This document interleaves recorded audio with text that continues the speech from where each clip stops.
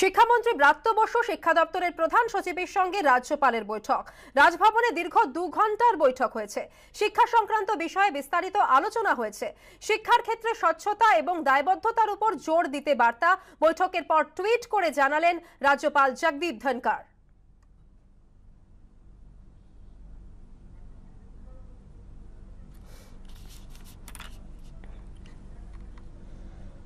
তৃণমূলের রাজ্য সাধারণ সম্পাদক কুণাল ঘোষ প্রসঙ্গে কি জানিয়েছেন শুনব। আমি রাজ্যপাল, শিক্ষামন্ত্রীকে যে, তাদের মধ্যে যে দেখা হয়েছে এ বিষয়ে একটি মন্তব্যও করব না, আমি শুধু মনে করিয়ে দেবো, রাজ্যপালকে স্মরণ করিয়ে দেওয়া দরকার, স্বচ্ছতা এবং নিরপেক্ষতার সঙ্গে যেন রাজভবন কাজ করে, এই জ্ঞানটা রাজ্যপালের মনে রাখা দরকার। তিনি বিজেপির দালাল, বিজেপির এজেন্টের কাজ করছেন, তিনি নিরপেক্ষ নন, ফলে শিক্ষামন্ত্রীর সঙ্গে তার কি বৈঠক হয়েছে, কেন হয়েছে আমি জানি না। ওটা সম্পূর্ণভাবে শিক্ষামন্ত্রী বা রাজ্য সরকার, প্রশাসনের বিষয়। আমার কোনো মন্তব্য নেই, কিন্তু এই মন্তব্য আছে যে রাজভবন আর রাজ্যপাল স্বচ্ছতার সঙ্গে এবং নিরপেক্ষভাবে কাজ করুন। ফের আলাদা জঙ্গলমহল রাজ্যের দাবি বিষ্ণুপুরের বিজেপি সাংসদের। বঞ্চনার অভিযোগে পৃথক জঙ্গলমহল রাজ্যের দাবি বিজেপি সাংসদের। উত্তরবঙ্গ ভাবতে শুরু করেছে জঙ্গলমহল রাজ্য কেন চাইব না? বাংলার বাসিন্দাদের সঙ্গে থাকব কিন্তু উন্নয়নের জন্য কি পাচ্ছি? কেন্দ্রের কাছে পৃথক জঙ্গলমহল রাজ্যের দাবি জানাব। তেইশটি জেলা ভেঙে ছেচল্লিশটি জেলার কথা বলা হলে কেন জঙ্গলমহল রাজ্য নয়? রারবঙ্গ নিয়ে আলাদা রাজ্যের দাবিতে সরব বিজেপি সাংসদ সৌমিত্র খাঁ।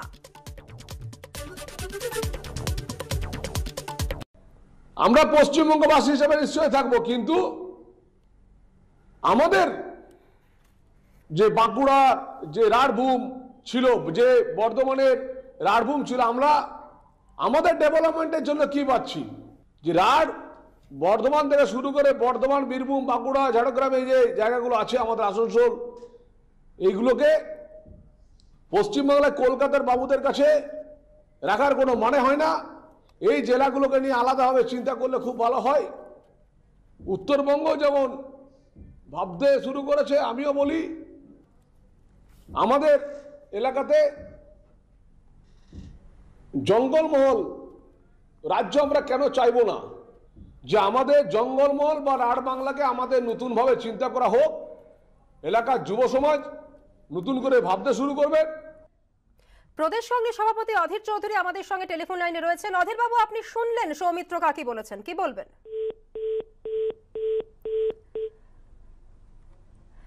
যান্ত্রিক কারণে যোগাযোগ বিচ্ছিন্ন হয়ে গিয়েছে।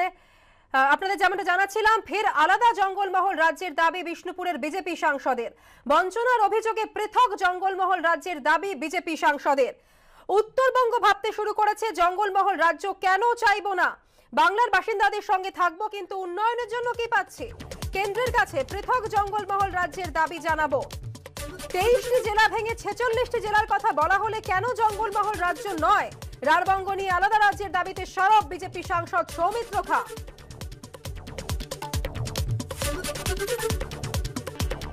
ফের আলাদা জঙ্গলমহল রাজ্যের দাবি বিষ্ণুপুরের বিজেপি সাংসদ সৌমিত্র খার বঞ্চনার অভিযোগে পৃথক জঙ্গলমহল রাজ্যের দাবি করেছেন বিজেপি সাংসদ।